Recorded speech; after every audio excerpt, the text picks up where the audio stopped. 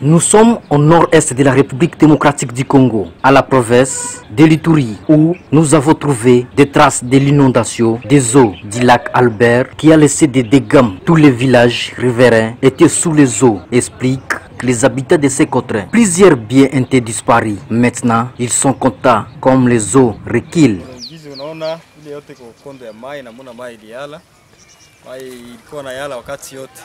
asubuhi, mchana mzima ilikuwa na yala, alors ilikuwa period mbaya kwa population yenyewe tuko naishi pembeni ya maji. Poteza siku sana, watu poteza nyumba na ba vitu ndani ndani nyingine vile ilikuwa napotea vitu.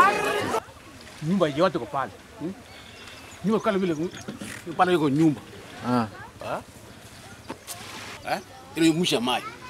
Ces inondations avaient l'impact énorme dans plusieurs secteurs de travail comme dans le secteur des transports et voies de communication qui avaient perdu même le queue, dit le chef de bureau et le commissaire de la Kistre, Oudar Oulama. Mais il garde l'espoir de récupérer les queues et appelle les autorités de transport et le ministre national de visiter aussi le lac Albert. a vraiment des impacts euh, négatifs dans le sens tel que vous constatez, monsieur le journaliste, j'ai perdu tout le queue des ports de Kasseni, de Mahagi ports sont sous l'eau.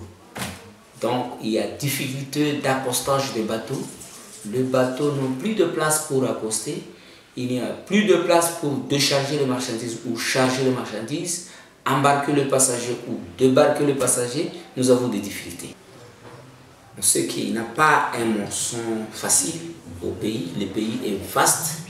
Il a plusieurs cours d'eau en République démocratique du Congo, mais qui songe aussi un jour à visiter le lac Albert dans la province de l'Ituri. Et vraiment, nous avons euh, un trafic euh, en étage de bateaux qui euh, s'effectue entre la RDC et l'Ouganda.